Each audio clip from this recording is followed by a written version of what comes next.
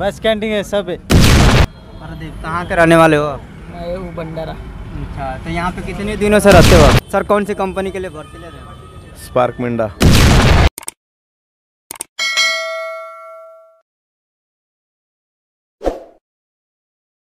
आप सभी भाइयों को रोज़गार मेला चैनल में स्वागत है। जैसे आप सभी लोगों को बता दें कि अभी हम चाकन में हैं आप देख सकते हो पूरा ये चाकन है। और चाकन एरिया में ही है और अभी आप देख सकते हो, बता दें आपको कि यहाँ पे भर्तियाँ यहाँ से चल रही है। आप जानते हो कि दिवाली के टाइम में भर्तियाँ नहीं चलती है। और कारण क्या है कि बोनस देना पड़ता है कंपनियों को तो बहुत सारे लोग हैं जो इधर से उधर घूम रहे हैं और बहुत सारे ऐसे जो नेप्स में कंट्रेक्टर हैं जो कि उनको लोगों की ज़रूरत अभी है। इस पार्क मिंडा में ज़बरदस्त हायरिंग चली है तो देखने से पहले सभी लोगों से कहूँगा, चैनल सब्सक्राइब कर लो। हर एक अपडेट आप लोगों को बताते रहते हैं, ठीक है? तो आप देख सकते हो, पीछे में वो हैं और सर हैं और बात कराते हैं उनसे भी। और ये चाकन है और चाकन के जस्ट सामने है और गाड़ियाँ हैं ले जाने के लिए लोगों को, ठीक है? तो अभी बात कराते हैं और आपसे बताते भी हैं कि कहाँ पे कौन सी इस पार्क मिंडा में भर्ती चल रही है, ठीक है? और कब तक चलेगी ये हायरिंग, सब कुछ आपको लाइव अपडेट दिखाते रहेंगे, ठीक है?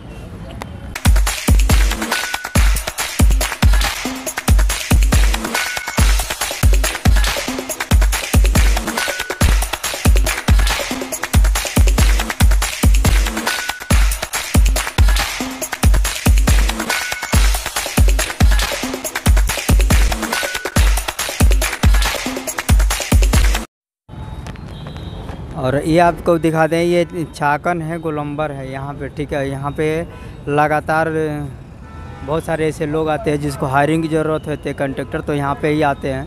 और आप देख सकते हैं, उनसे भी बात करवाते हैं, ठीक है? और ये लोग भाई हैं और देख सकते हैं, ये लोग भी बैठे हुए हैं। यहाँ पे इतने लोगों को बैठा कर रखे हुए तो ऐसे ऐसे बहुत सारे ऐसी जगह है जहाँ पे आप लोग यहाँ पे भी प्रजेंट हो सकते हो और बात कराते हैं सर से भी, ठीक है? तो ठीक है अब बात भी कराते हैं आप देख सकते हैं कि कितने लोग हैं। ठीक है ये लोगों को भी है और भर्तिया के लिए ही जा रहे हैं और यह जस्ट सामने ही हैं और गाड़ियाँ भी लगी हुई है ठीक है। तो आप लोग यहाँ पे भी आ सकते हो यहाँ पे भी अच्छा खासा जॉब मिल सकता है ठीक है। तो पूछते हैं सर कौन सी कंपनी के लिए भर्ती ले रहे हैं? Spark Minda. Spark Spark Minda. Salary क्या है सर? उन्नीस हज़ार बारह घंटे का। उन्नीस हज़ार। कैंटीन बस तो सब कुछ है तो सर थोड़ी बिज़ी है तो आप लोगों से बात भी करवा देंगे, सब कुछ करा देंगे। तो आप लोग यहाँ पे भी प्रेजेंट हो सकते हैं। आप लोग को नंबर भी दे देते हैं स्क्रीन पे, आप लोग बात करके वहाँ पे भी प्रेजेंट हो सकते हैं। और आपको बता दें, ये गोलम्बर है, और इधर भी दिखा देते हैं, ये जस्ट यहीं पे हैं, खड़ा हम सभी लोग, ठीक है? तो आप लोग यहाँ से भी आ सकते हो। यह देख सकते पूरी गाड़ी भर के जा रही है, ठीक है? चाकन से जा रहे हैं। तो यहाँ पे भी आप लोग पहुँच सकते हो।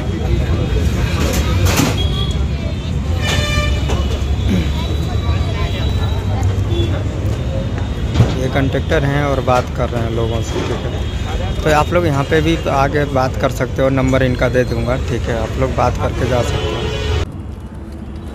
ठीक है? तो यहाँ पे पहुँचने में आपको बहुत ज़्यादा वो नहीं लगेगा, पूछते हैं। क्या नाम है, सर? आप अरे साइनाथ साइनाथ तो क्या सैलरी बताएँ सर आप? उन्नीस हज़ार पाँच सौ।